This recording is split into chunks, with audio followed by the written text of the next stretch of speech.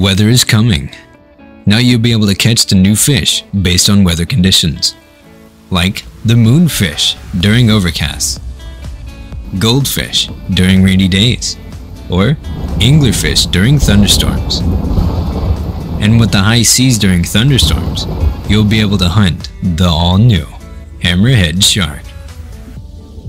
Experience climate change on Sunday, October 23rd.